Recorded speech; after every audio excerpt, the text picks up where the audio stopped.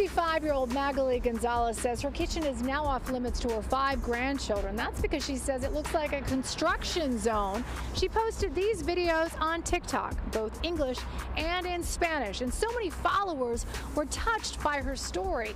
Pix 11 News is here making a very special house call. This past Mother's Day, I couldn't even have Mother's Day with my grandkids because of the situation. Magaly Gonzalez is the rock of her family. Usually her kitchen is where she cooks for her five grandchildren here at the Baruch houses on the Lower East Side.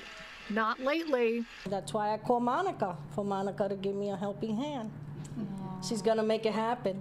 I have a situation. She posted a TikTok her frustration in Spanish and in English.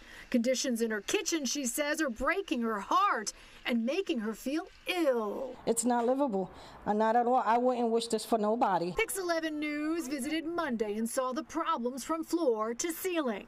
To avoid the toxic situation, this is where she moved her refrigerator. So, literally, your refrigerator is in your living room now. That is correct. It is, and this is how I'm living. It, I shouldn't be living like this. Her Yorkie Milo is not allowed to go into her kitchen anymore either. He's a smart dog. Once I tell him out the kitchen, he's out the kitchen ASAP.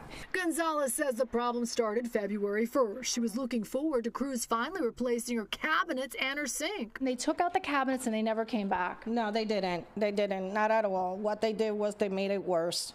Gonzalez showed us the repair tickets she's put in since February. They've closed a lot of these tickets and they have done nothing. We reached out to NYCHA and they tell us NYCHA staff have completed an initial inspection and environmental testing will be performed to determine immediate next steps.